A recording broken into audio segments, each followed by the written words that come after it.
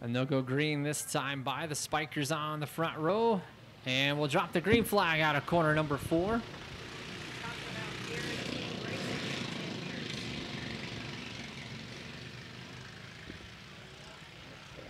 Noah Spiker looking to lead lap number one of the N73.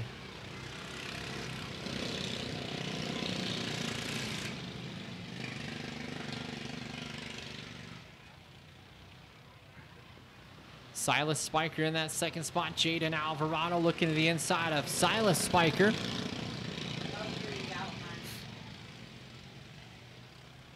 Looks like Merrick Pipe is off the racetrack as well, down to three mini modifieds here tonight.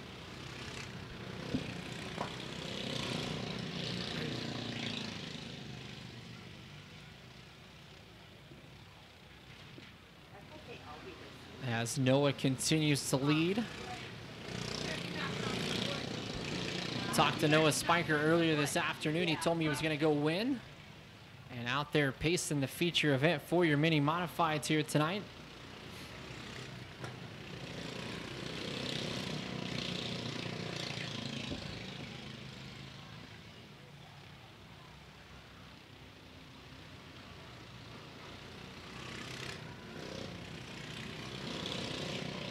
Laps winding down for your mini modified division, this time by the 73N of Noah Spiker. will grab the white flag one more time around.